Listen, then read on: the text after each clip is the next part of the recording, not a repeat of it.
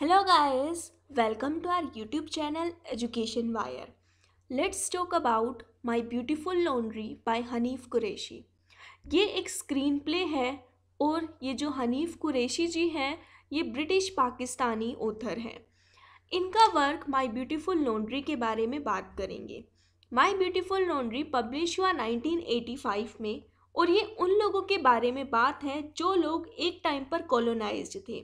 That means वो जगह जिन पर ब्रिटिशर्स ने एक टाइम पर रूलिंग की थी, उन जगह के लोगों के बारे में, जो अभी अपनी अपनी होमलैंड छोड़कर ब्रिटिश एरिया में उन्हीं के साथ रहते हैं।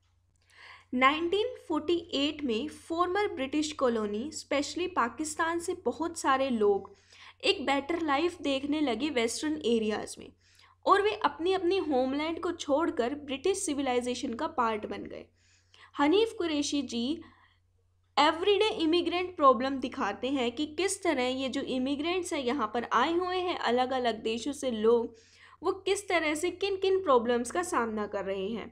माई ब्यूटीफुल लॉन्ड्री एक ऐसी स्टोरी है जो एक यंग मैन की प्रॉब्लम्स के बारे में बताती है, जहाँ पर एक यंग मैन ओमर अली अपनी पाकिस्तानी ट्रेडिशन और साथ में मॉडर्न ब्रिटिश लाइफस्टाइल के बीच में फंस गया है।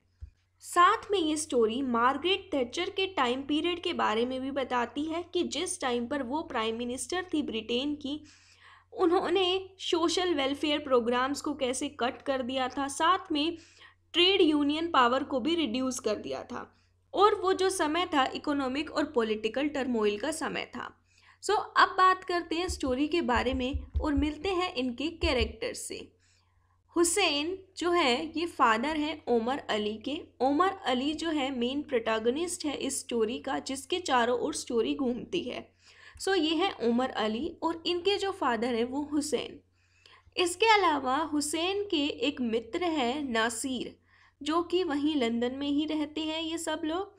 और ये उनकी डोटर है तान्या, नासिर की डोटर है तान्या। इसके अलावा कुछ फ्रेंड्स इन्हें यहाँ मिले, सलीम, जोनी और राकेल। अब बात करते हैं स्टोरी की। सो so, ओमर अली एक यंग मैन है जो कि स्ट्रगल कर रहे हैं अपने लाइफस्टाइल के साथ क्योंकि पाकिस्तानी ट्रेडिशन और मॉडर्निस्ट लाइफस्टाइल ब्रिटेन का। उसके बीच में वो फंस गए हैं। सो so, ये नाइनटीन एटीज़ लंदन की बात है और इनके पिता हुसैन एक पाकिस्तानी जर्नलिस्ट लंदन में तो रहते हैं बट ब्रिटेन की और वहाँ की पॉलिटिक्स उन्हें पसंद नहीं। सबसे कटे कटे रहने से उन्होंने अपनी जो लाइफ स्टाइल है, वो अल्कोहल से भर ली है। दैट मीन्स वो अल्कोहल का सेवन करने लगे, जिसकी वजह से सारे काम का भार ओमर अली पर आ गया। ओमर एक पाकिस्तानी फादर और एक वाइट लेडी के बेटे थे, यानी कि ओमर के जो पिता पाकिस्तानी थे और जो उनकी मदर थी, वो वाइट थी, यानी कि एक ब्रिटिश लेडी थी। हु कमिटेड सुसाइड जिन्होंने सुसाइड कर ली थी, इस, अभी जो दो कल्चर मिक्स हो गए हैं कि पाकिस्तानी फादर थे और उनकी मदर जो थी वो वाइट थी, जिसकी वजह से ओमर की आइडेंटिटी जो थी वो मिक्स्ड थी। ओमर के एक अंकल नासिर एक सक्सेसफुल बिजनेसमैन थे। ये जो है, ये नासिर एक सक्सेसफुल बिजनेसमैन थे और हुसैन ने उनसे ओमर को काम पर रखने को कहा। उसे एक कार वॉशर की जॉब भी मिली। लॉन्ड्री में काम करने लगा। जल्द ही उसने इसे एक सक्सेसफुल काम में बदल दिया। अब सब अच्छा चल रहा था। ओमर का ये फ्रेंड जोनी, इसके साथ ओमर के रिलेशन स्कूल टाइम में काफ़ी अच्छे थे, बट स्कूल ख़त्म होने के बाद ये दोनों भी अलग अलग हो गए। जोनी जो है, ये एक वाइट मैन है और इन दोनों की मित्रता काफ़ी गहरी चली और ये सलीम ड्रग्स ट्रैफिक्स का काम करता है और ये दोनों ओमर और जोनी मिलकर सलीम के ड्रग्स को डिलीवर करते हैं। कुछ कैश हासिल करके लॉन्ड्री की रीडेकोरेशन भी करते हैं। लॉन्ड्री जो है, एक सक्सेसफुल बिज़नेस बन गई। नासिर अपनी मिस्ट्रेस राकेल के साथ वहाँ पर आता है। जो नासिर है, उसका अंकल ओमर का, वो अपनी मिस्ट्रेस राकेल को वहाँ पर लेकर आता है। वो दोनों मिलकर डांस करते हैं और दूसरी तरफ़ जोनी और ओमर एक रोमांटिक रिलेशनशिप बनाते हैं एक दूसरे के साथ। इधर तान्या नासिर की बेटी वहाँ पर आ जाती है और राकेल और नासिर को एक साथ देखते ही राकेल को भला बुरा सुनाती है। राकेल तान्या की बातों से बेइज्जता हो जाती है और वहाँ से चली जाती है। और फिर उमर नशे की हालत में तान्या को प्रपोज कर देता है।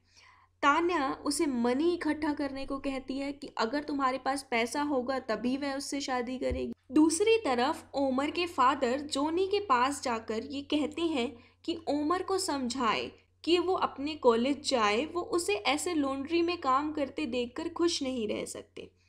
और उधर ओमर, अपनी लवर, जिससे वो शादी करना चाहता है, तान्या उसके लिए मनी कलेक्ट करना चाहता है।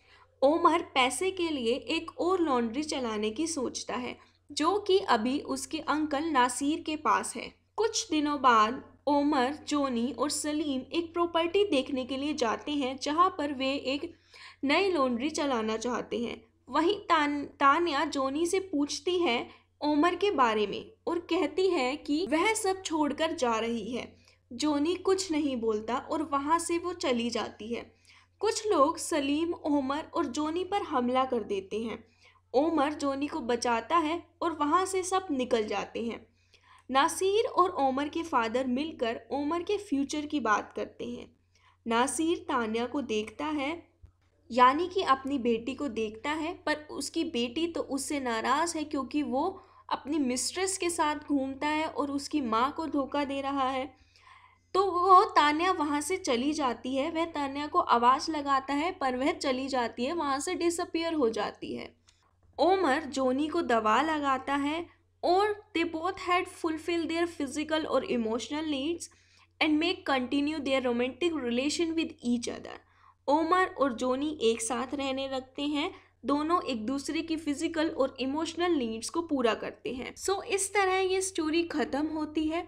लेकिन इस स्टोरी में बहुत सारी चीज़ें अलग से रिप्रेजेंट करती हैं, जैसे कि हाइब्रिडिटी इंटर कल्चर रेशियल चीज़ें, जैसे कि जिन लोगों ने अटैक किया, वो रेसिज्म की वजह से अटैक किया उन पर। हाइब्रिडिटी दिखाई गई है क्रॉस कल्चर यानी अलग अलग कल्चर के लोग जब वहाँ पर जाकर रहने लगे थे तो किस तरह की सिचुएशन थी? इसके अलावा सिम्बल्स का यूज़ किया गया है, जैसे कि टाइटल माई ब्यूटीफुल लॉन्ड्री इसलिए यूज़ किया गया कि अ काइंड ऑफ़ डिटर्जेंट से जिस तरह से सारी चीज़ साफ़ हो जाती है, ऐसे ही समाज की बुराइयों को मिटाने के लिए एक लॉन्ड्री का नाम दिया गया कि जहाँ पर सारी चीज़ों की धुलाई की जाती है डर्ट को साफ़ किया जाता है तो सोसाइटी की डर्ट को साफ़ किया जा सके। साथ में यहाँ ओमर अली के स्ट्रगल से ये वहाँ पर गए हुए इमिग्रेंट्स का स्ट्रगल दिखाया है कि उन्हें किस किस तरह की प्रॉब्लम का सामना करना पड़ा। So this is all about My Beautiful Laundry I hope you guys understand if you understand like this video share it and subscribe it thank you.